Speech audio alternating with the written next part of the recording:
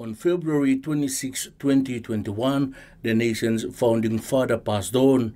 Prime Minister James Marape, when paying his homage, said that no one single time before or after our independence did one man's death affect Papua New Guineans as overwhelmingly as Sir Michael's. But then he said no man had lived and dedicated his life quite like the way Sir Michael had done to give wings to his vision during a time of many limitations for the unity of a thousand tribe of peoples into a single nation. Um, Dave Losomare, two years back, up long, I think Sunday. Uh, this Sunday, me just like encourage my citizens. Lapun Somare, me sleep now, or probably you mean, me will sleep now. Uh, no got time, you me, you blame him, not plan, not plan, I me cross go come to us. Government staff, me plug a program to help him youths second chance education, SME, uh, Miplas Kelim Tilimani, Logarap, Law Country. Uh, our citizens must rise up to be lawful and law abiding.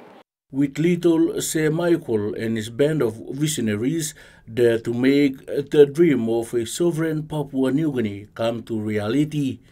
He was the architect of our independence who, against prevailing views at the time, saw this possible.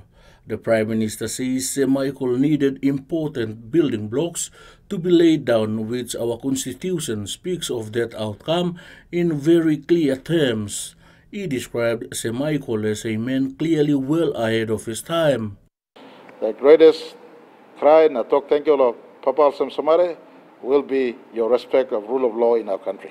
Emi one black call and Emi uh, important call me like make him the time where you meeting him all Papa is sleep especially at the anniversary of the uh, passing of our great grand chief, the late Sir Michael Thomas Somare. Sir Michael inspired action and fostered and unearthed the collective spirit of those around him to work hard and with a defined purpose, confronting opposing views and commanded respect because of his wisdom and humility. PM Marape says because of Sir Michael's philosophy of dialogue and consensus, his chiefly name of Sana was befitting as it unified thoughts and ideas and rallied the troops for a common purpose. Freddie Moe, TVWAN News.